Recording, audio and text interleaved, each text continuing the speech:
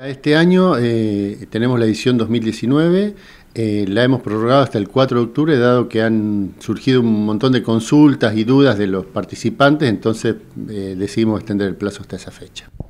¿Quiénes pueden participar y de qué manera lo pueden hacer? Mira, pueden participar alumnos y docentes en grupos de hasta 10 de escuelas secundarias rionegrinas y escuelas técnicas, tal como fue la edición del año pasado. ¿Y qué premios recibirán los ganadores de los proyectos?